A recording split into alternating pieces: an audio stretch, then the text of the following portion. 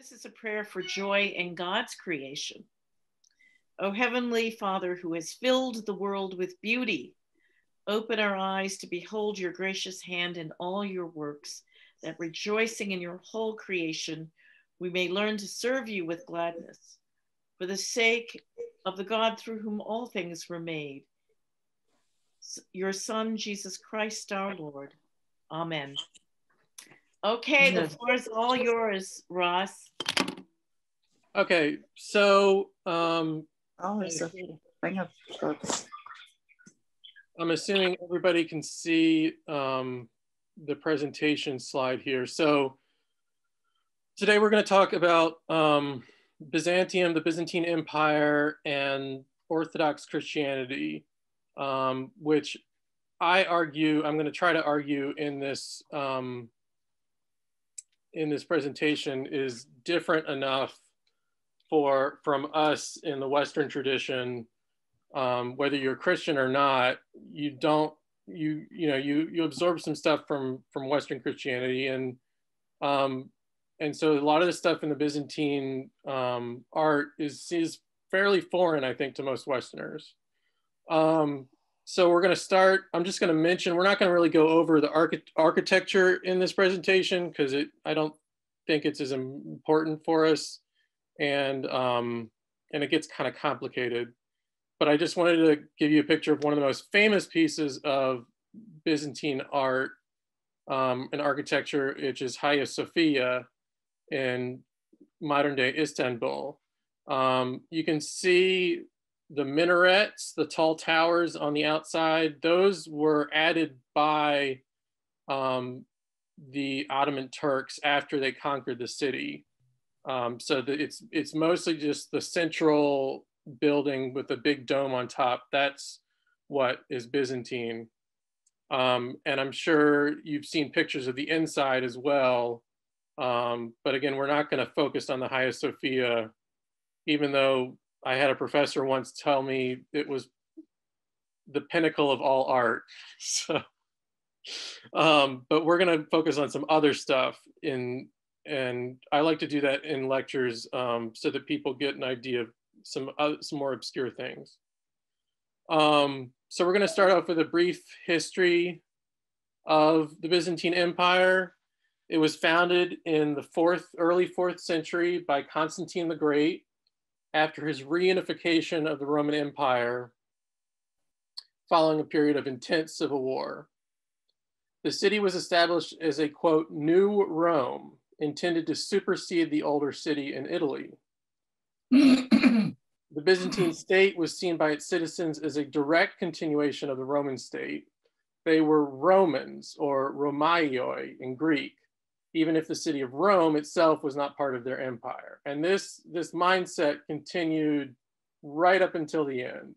They really saw themselves as the legitimate Romans, um, the people who lived in Rome after um, the fall of the Western Roman Empire, those weren't Romans, those were barbarians.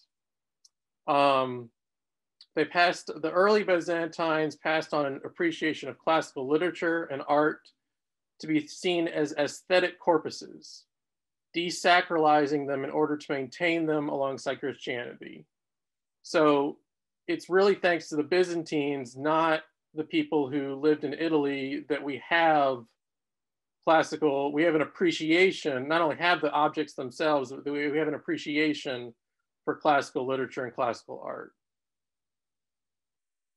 So from the beginning with Constantine, the emperor, and this is important, um, was seen as not only having a mandate from God, but he was also the spiritual primary, inter, I'm sorry, intermediary between God and the people as a whole body politic.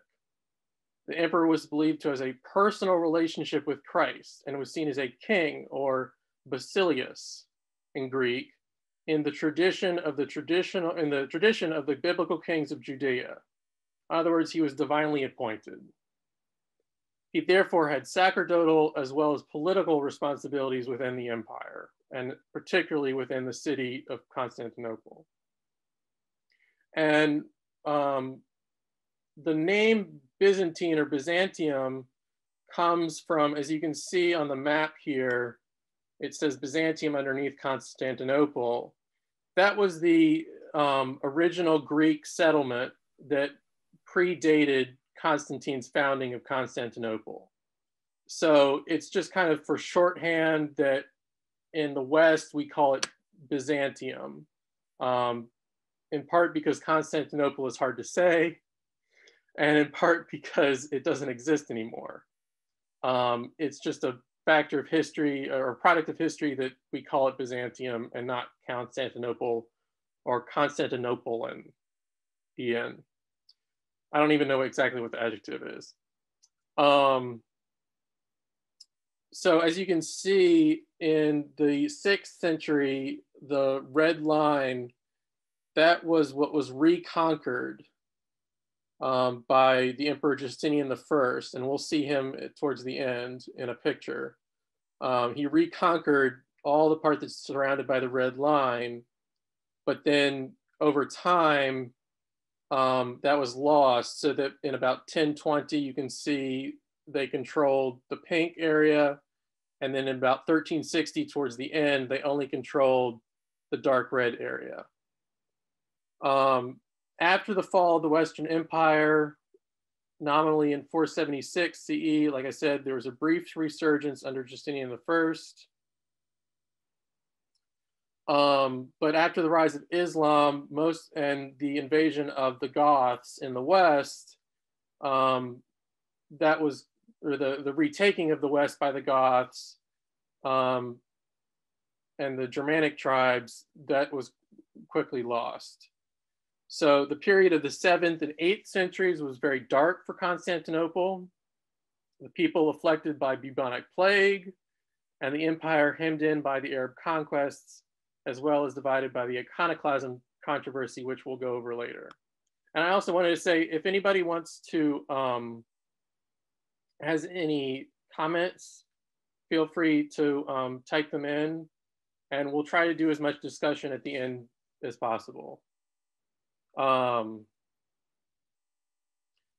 so in the medieval times, even though it wasn't at the heart of a really great empire, I mean, it was significant you know, compared to today in terms of what you can see with the pink area, um, it it wasn't a it wasn't a great empire in the way that Rome had been.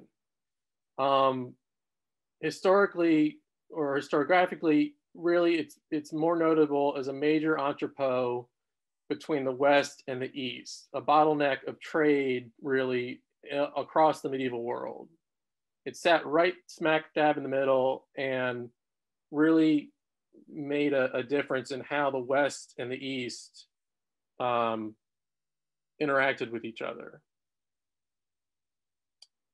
Um, and this, its, its role as an entrepot, along with the inheritance of Roman bureaucracy and law, very much enriched the city and continued its um, helped to continue its its being seen as a pinnacle of culture throughout the medieval world, medieval era.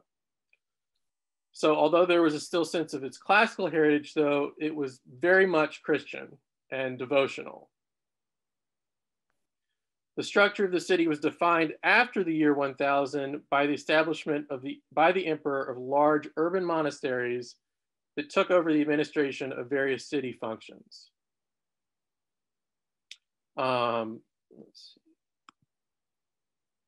um, so it's decline and, conquest. Um, the invasion of the Seljuk Turks, these are not the Ottomans, but a different kind of Turk, different group of Turks, in the late 11th century led in turn to an incursion of Western powers in the form of the Crusades leading ultimately to the worst disaster, the sacking of the city during the Fourth Crusade in 1204 by the Western or Latin Crusaders. Only fragments of the empire remained in Greek hands as the Latins, led by the Venetians, ruled the city for nearly six decades before being removed. Um, the Ottomans, which were a different group of Turks, captured the last Greek city on the Aegean um, right here in 1304. and reached the Marmara Sea, which is this sea right here, um, opposite Constantinople.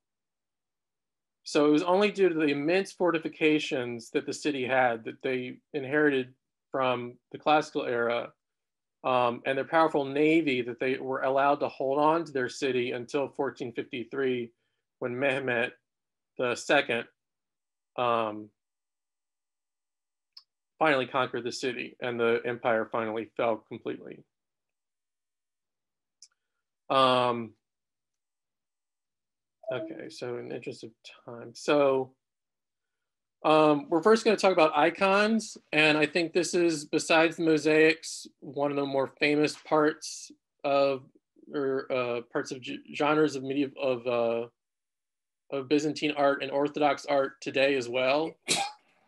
So icons are mentioned as being venerated in private as early as the beginning of the third century.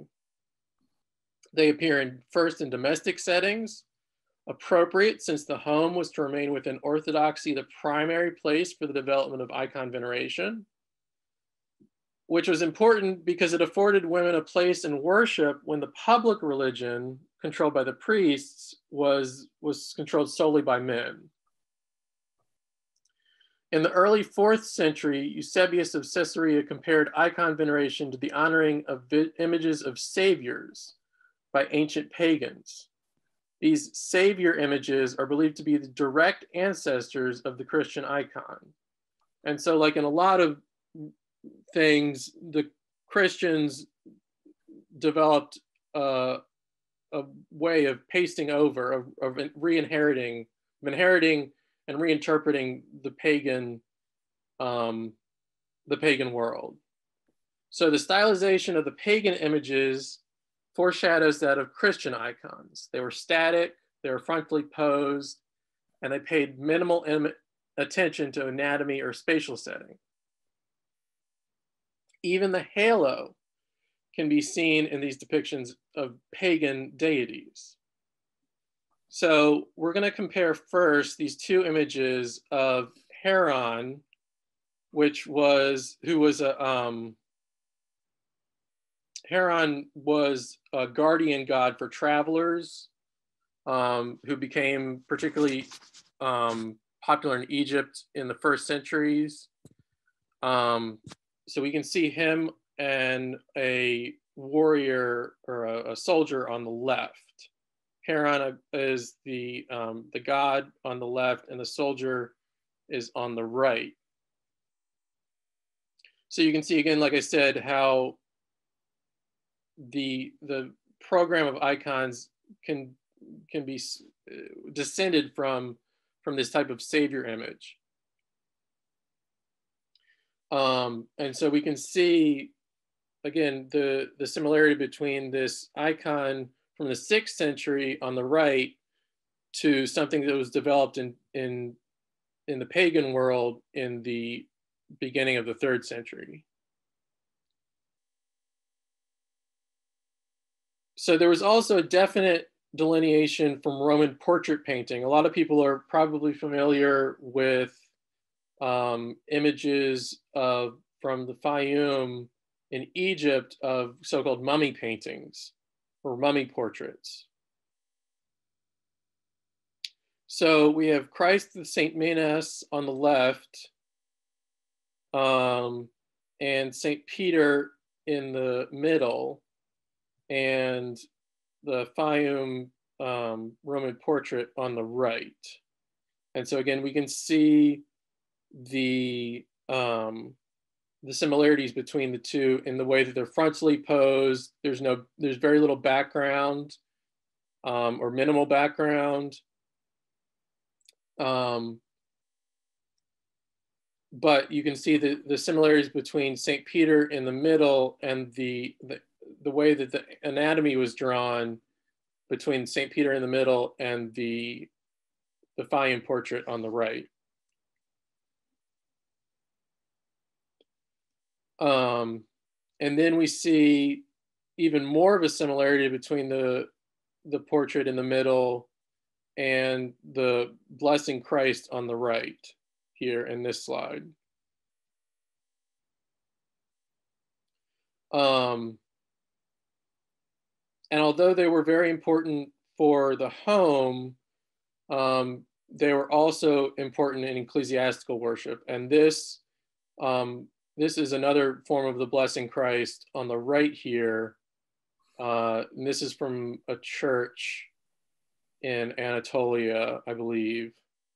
Um, and we'll go over that in a little bit later with regards to iconoclasm. So again, we can see how, like I said before, there was a really a, a great um, inheritance from the classical world. Um, and that was very important for the Byzantines in the development of their art. So I'll go back to this slide, um, and I'm going to talk about iconoclasm. Iconoclasm, which is the, it, I think, I believe it literally means the breaking of icons.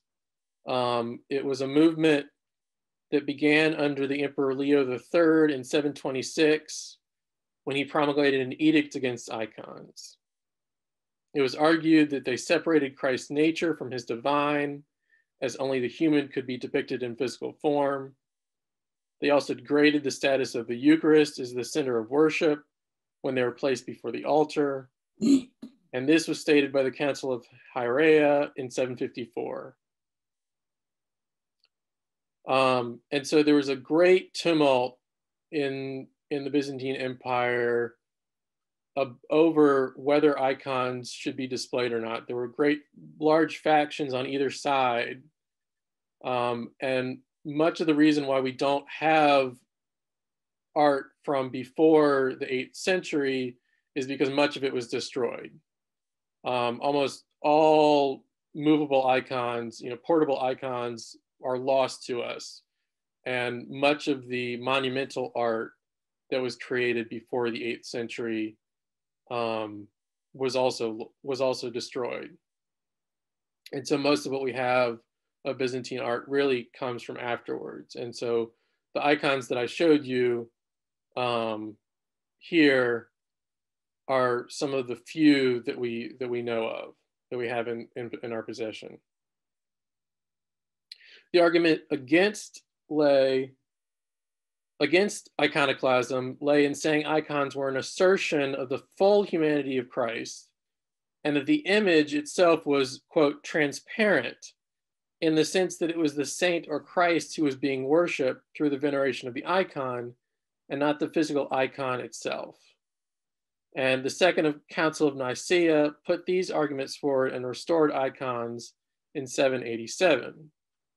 However, it was again revived by Leo V the Armenian in 813, though not as popular as before. Um, and iconoclasm was finally put to rest by the Empress Theodora in 843 after the death of her husband, the Emperor Theophilus. This signaled the triumph of popular religious practice over imperial policy, for iconoclasm had never been popular among the majority of the empire's citizens. And again, like I said, um, you can see this image of the blessing Christ on the right is damaged, especially his hands and his face have been effaced away. So after iconoclasm, icons became pervasive in the city as they had before, used in many different contexts. And I'm going to go to, these two. Um, they, um, the Hodegetria, an icon originally brought from Palestine, um, and we see a copy of the Hodegetria on the left, um, although the original was lost later on. It was the most prized and the most copied.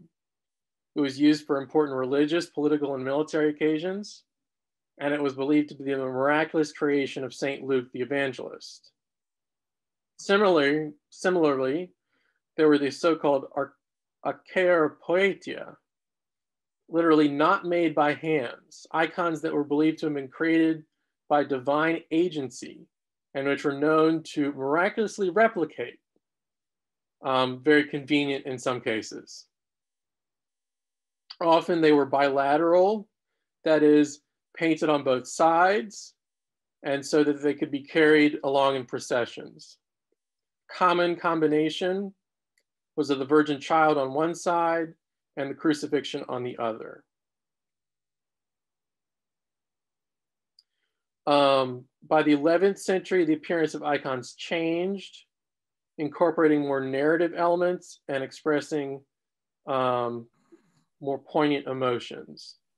So we can see, I, I accidentally switched the sides slides here, but um, you can see on the right, this is an icon from later in the 14th to 15th centuries, but nevertheless, you can see there's all these narrative scenes around the central Christ figure. And they're all labeled, in fact, so we know what they are. Um, and you can see uh, some of the classical um, and Hellenistic tradition in the piece on the left. Um, this is a like a treasure, I believe, a treasure box or of some kind, uh, but it's it's all carved in ivory, and you can see the the vines um, and the way that the figures, the dancing figures within each of the the panels or little circles there. Um, that's that represents or is a good representation of again the Hellenistic culture, the the Greek culture, the classical culture um, that was incorporated throughout this this time. Um, so these changes towards a more narrative um, and more poignant emotions in the figures um, this encouraged worshipers to forge a personal relationship to the holy figure or enter into the narrative as if actually present at the event. This idea of entering the image and connecting with the subject emotionally would re be reproduced and elaborated upon in the West a few centuries later. So next I wanna talk a little bit about um, the Virgin Mary and her role as um, Theotokos, or Mother of God. Um, her place in Orthodoxy um, of the Byzantine era, and to a large extent, Orthodoxy of today as well, it differed a bit from how she was viewed in the West. Um, in, present, in Byzantium, her purity as a virgin was less stressed, as indicated by her title, Mother of God or God bearer is another way to translate Theotokos. In this role as Theotokos, she was not just the mother of Christ, but embraced all of life. I'm going to give a list of epithets that were given to her. They included mother of the unsetting star, dawn of the mystical day, rock that quenches thirst, column of fire, tent of the world, flower of immortality, land flowing with milk and honey, impregnable wall, vehicle of the cherubim, and living temple. So the, the Theotokos, what we what we call the Virgin Mary, was so it was not just an icon, uh, something, someone to be venerated or someone to intercede on your behalf, but she was this all pervasive figure within the theology, within the thinking of the Orthodox Church at the time. And like I said, to a large extent, to this day as well. Um, another big difference um, that we see is in what's called the dormition of, um, or the falling asleep of Mary. I, there's the legend that she fell asleep other uh, in Greek called koimesis, and she ascended into heaven alive rather than actually dying. And we can see the difference um, between the two in that in the West, this is depicted as the Assumption. On the right, we can see um, a folio from a manuscript in the Morgan Library, um, originally made in Paris. This is, you know, very much in the Western tradition. We've seen this be, you've probably seen this before. Mary on a crescent moon with a crown rising into um, into heaven, surrounded by angels. On the left, the iconic the iconic uh, the iconography was very much of her falling asleep and being taken up into heaven. You can see on the left, Christ is she's sleeping on the on the bier on the bottom, um, and then Christ above her is raising her. The little child figure is actually supposed to be Mary. Um, he's taking her away symbolically. Um, actually, I want to go ahead. Does anybody have any questions so far? If you do, just type or unmute yourself and say something. No? Okay. Trying.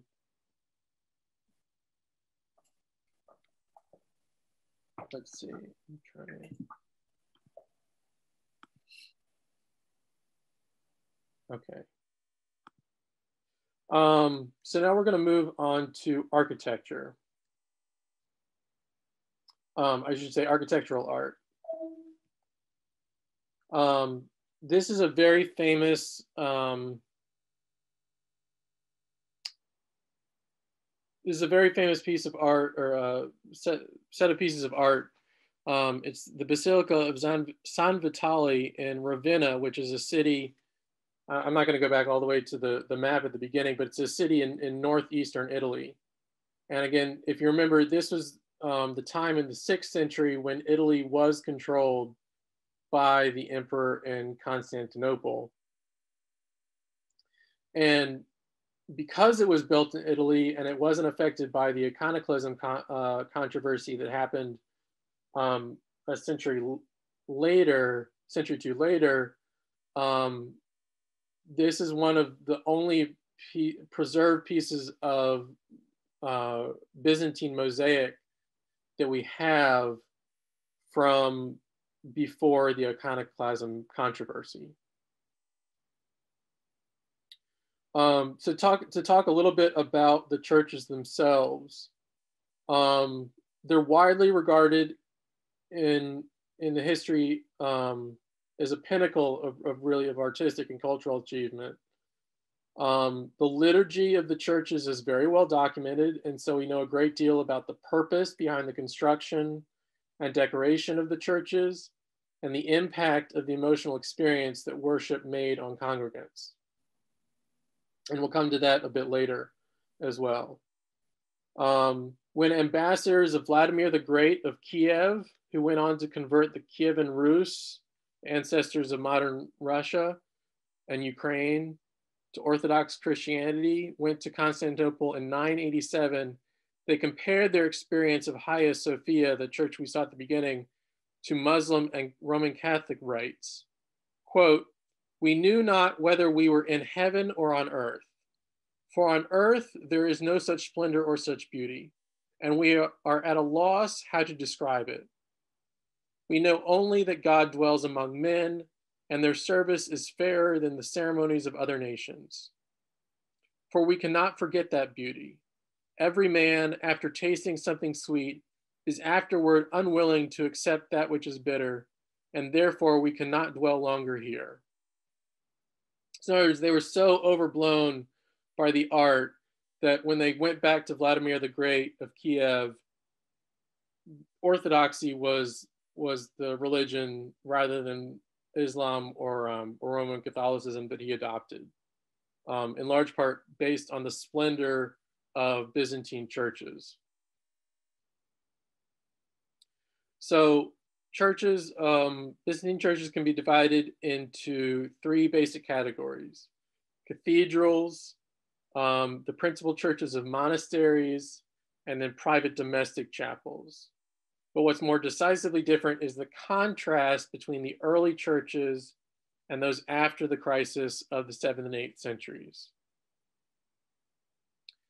Um, these differences can be separated into three categories architecture, iconic, icon, iconography, and liturgy. Early churches were open, public spaces influenced by the tradition of the Roman Basilica, while later ones were closed and compact. Early icono iconography consisted of loose narrative programs, while later depictions stuck to a strictly selective set of subjects. Before the crisis, the ceremonial emphasized participatory processional movement, while afterwards there was a shift towards a more static ritual dominated by appearances and presentations of liturgical objects by the clergy. So we're going to zoom in a little bit on, on the apse here in San Vitale. Um, so the above on the top um, you see Christ surrounded by angels and um, Saint Vitalis, the patron saint, I believe on the left, yes, and Bishop Ecclesius, the founder of the church, on the right. Um, and then on the bottom, we have um, we have on the bottom we have uh, the male part of the procession, and on the right we have the female part of the procession. And at the time, and I think possibly still today, um, in Orthodox churches, women and men are sat on separate sides of the church. Um, and so in a way, it's actually more more equal than what was going on in the West at the time in which men were sitting in front and women behind. Um, they were still separated, but it, they were co-equal in a way. On the left, we see the Emperor Justinian I making an offering. He's the one on the left in the crown. Um, um, and then we have the presiding bishop, Maximianus. He's the one you can see his name above him on the left there he is actually in front. So you can, if you imagine, if, you, we go back here and we see below to the right, we see the women there, um, the women's procession. The men's procession is on the other side of the apse, opposite the women's procession. So you can see how the bishop, Maximianus, is actually in front of the emperor in the procession, in the emperor Justinian. Um, although Justinian was never believed to have actually gone to Ravenna, um, this was the fact that he's included, represented is an, is an homage, was an homage, considered an homage to him um, as a patron of the church. Um, and then on the right, we have the empress at the time, and I forgot to put her name in the notes. Um, but um but again there's this idea of of um her being led by probably i would assume deacons of some kind in front of her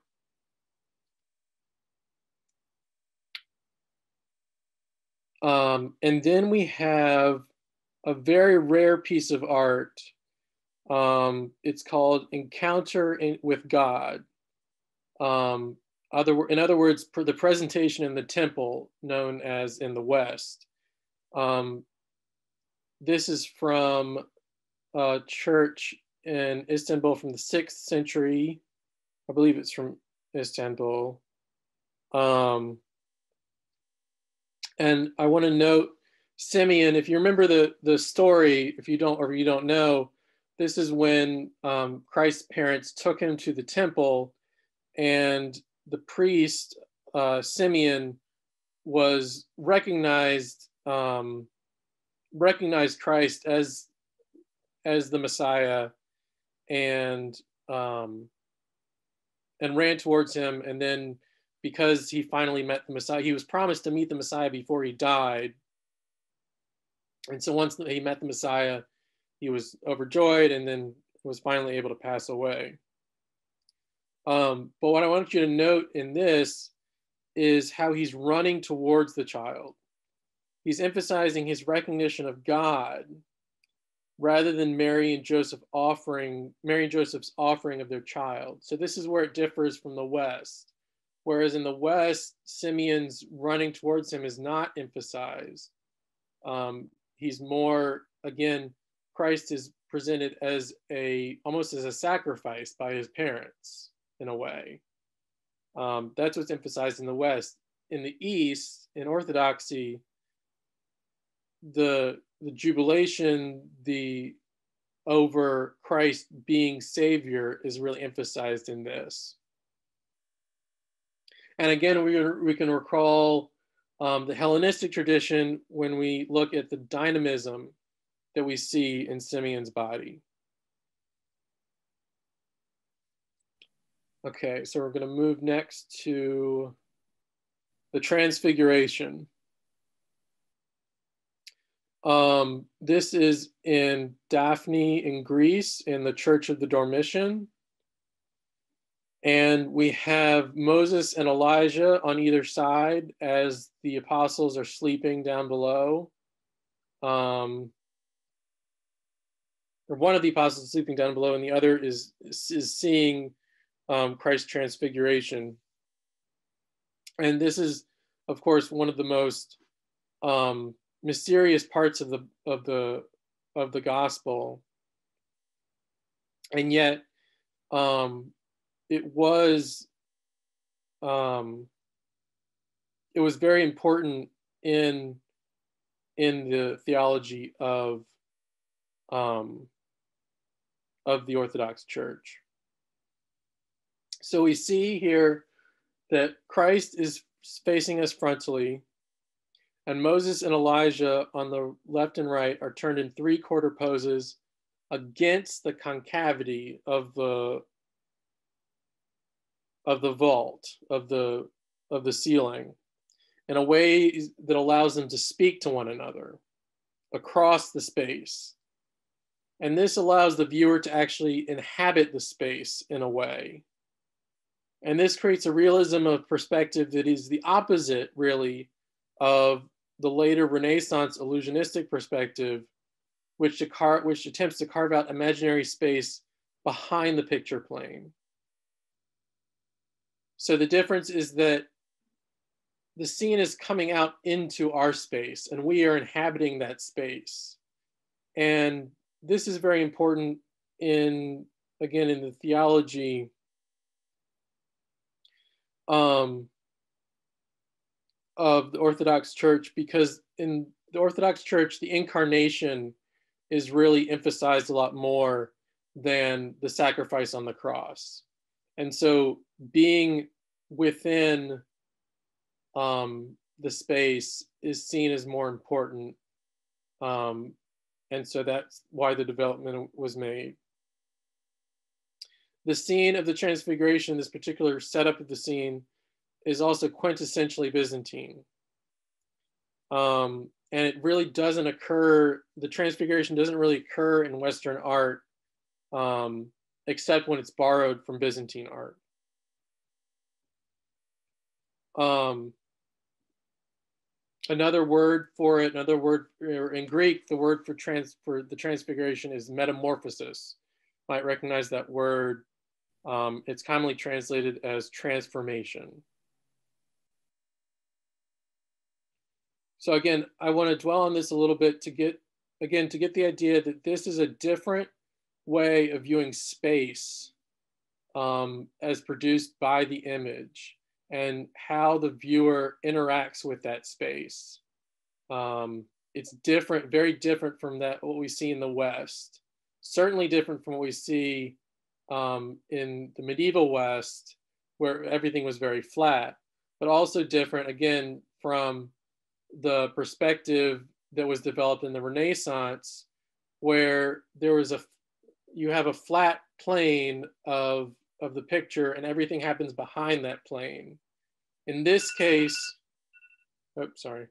In this case, everything is happening within, before you. you're you're a part of the space that the figures are occupying. Um, and that goes a lot into how um, how worshipers were involved in the worship. They were um, when they were especially when they received the Eucharist itself. Um, they saw themselves as joining kind of a divine, not world, but they were jo- yeah they were joining the divine in a way, participating in the divine by participating in the Eucharist, participating in worship, and the pictures such as these, which came out into your space that you interacted with, um, was all in part with that. Um, again, we see this in um, the washing of the feet. Um, where we have um,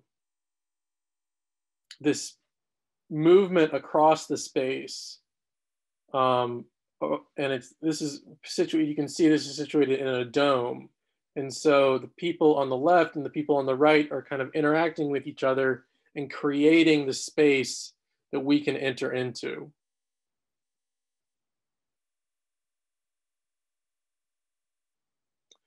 So next I'm going to talk about um, what's called Christ Pantocrator. Um, it's translated literally as all ruling or all holding as in holding something. Um, and it the idea behind the image on the left of Christ Pantocrator, um, this was really the central um, image within the church that was that was developed. It lies in the top of the dome above the worshipers as they were taking the Eucharist. And again, this is to provide recognition the idea that Christ is above you that you're becoming part of him. You're becoming, as a worshiper, part of the divine as you participate in the sacrament. Um, and I also want to note the, the similarity between the Christ Pantocrator on the left um, from the late 11th century and the icon from the 6th century on the right. Um, we can see the differences in how they're holding um, the gospel, um, how they're holding their right hand in blessing.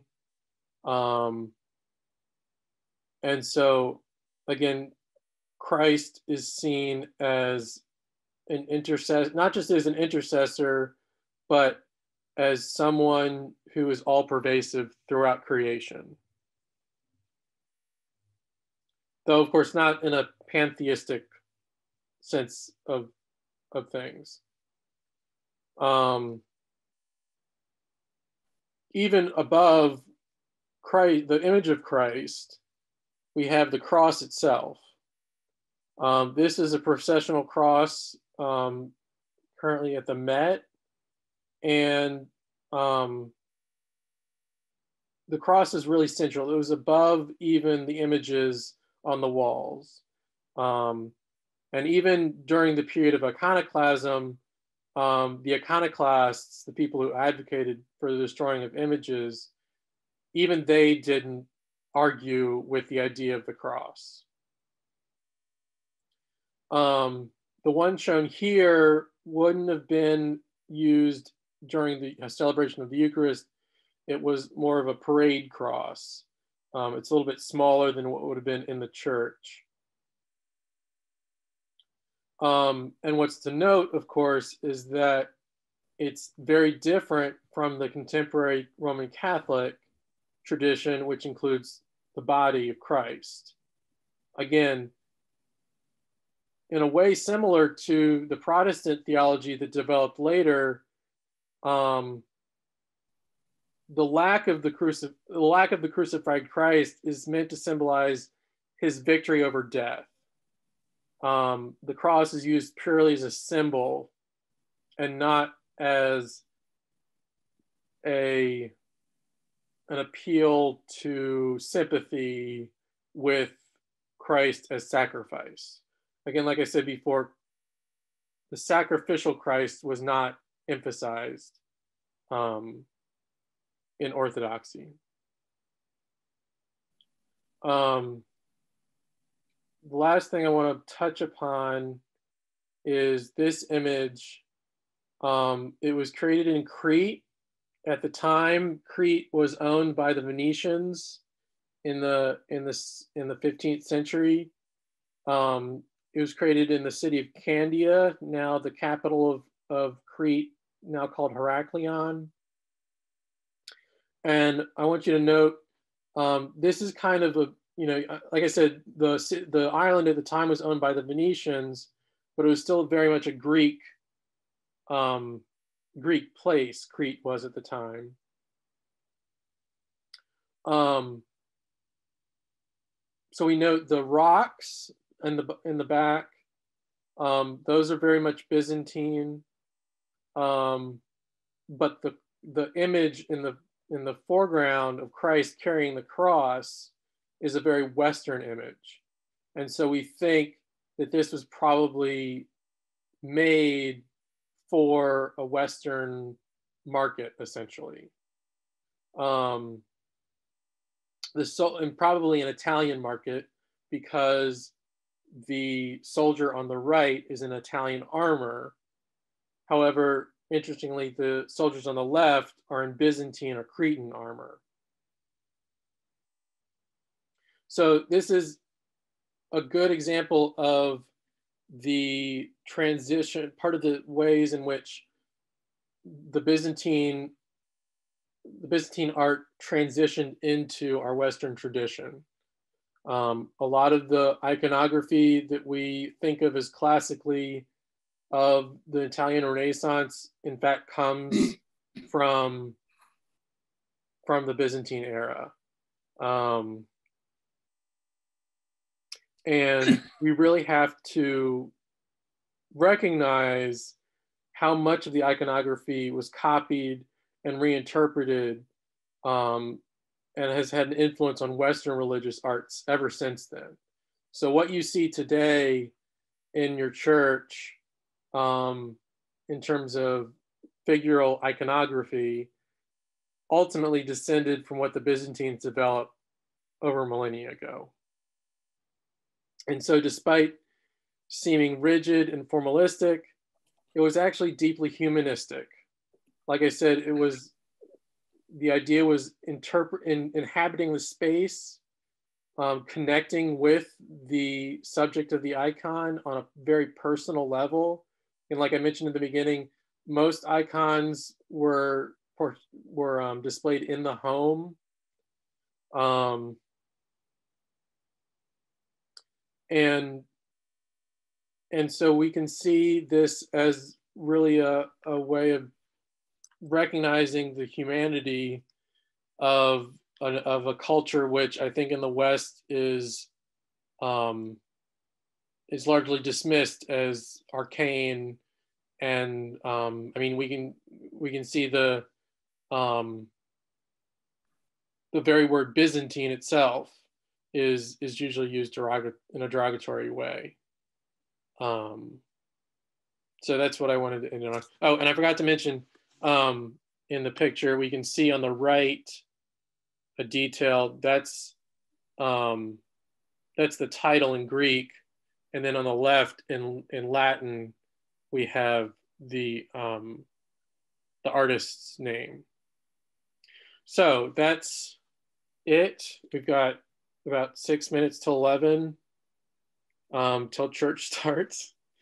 Um, so if anybody wants to unmute themselves or go into the chat um, and ask a question, please feel free. Ross, there is a question there about later beyond the split between Orthodox and Roman traditions, if these any of these churches became Catholic churches, and if so, how were they modified? Do you know?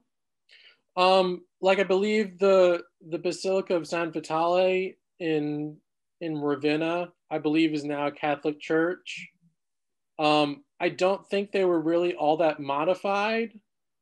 Um, most in the West, again, there was no period of iconoclasm that occurred um, to any great extent that I know of.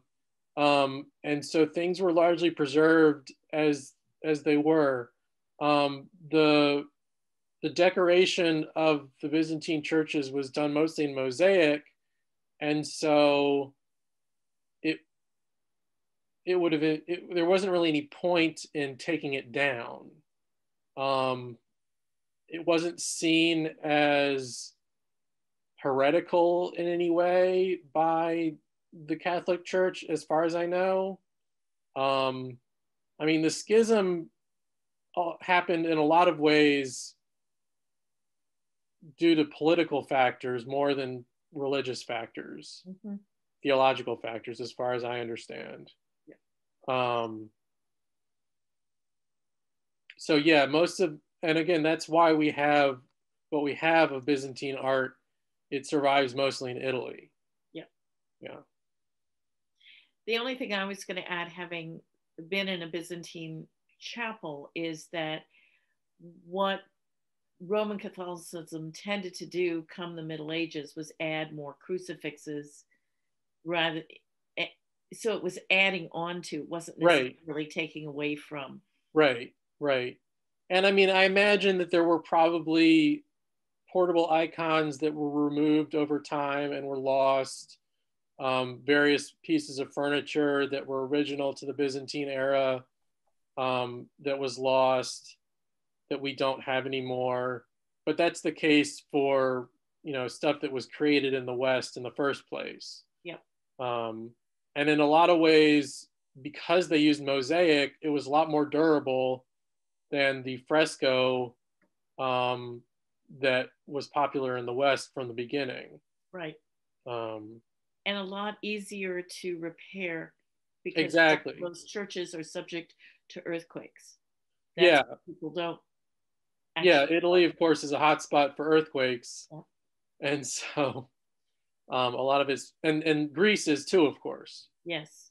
Um, but the major reason we don't have a lot of stuff in Greece and the Balkans is largely due to, as far as I understand, um, the just constant warfare that went on there over the centuries after the, the Byzantine Empire fell. Well, and before I should say before it fell, when it was conquered by the Ottomans, and the or first the Seljuks and then the Ottomans, um,